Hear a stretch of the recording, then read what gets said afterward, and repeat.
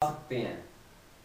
और सबसे जो हैरान करने वाली जो बात है कि जो ये डाटा है 10 मिलियन व्यक्ति अंधे हैं, इसमें से 25 परसेंट से ज़्यादा तो बच्चे हैं ब्लाइंड तो बच्चों को एनकरेज कीजिए कि वो अपनी आँखें दान दें। कोई भी है जो एक साल से ऊपर अपनी आँखें दान कर सकता है तो अपने बच्चों को प्रमोट कीजिए। कि वो अपनी आँखें दान दें। किन के लिए दें? बच्चों के लिए। क्योंकि 25 परसेंट, दस मिलियन 100 लाख का जो है 25 परसेंट है चिल्ड्रन ब्लाइंड। तो आप अपने बच्चों को एनकरेज कीजिए कि वो अपनी आँखें दान करें।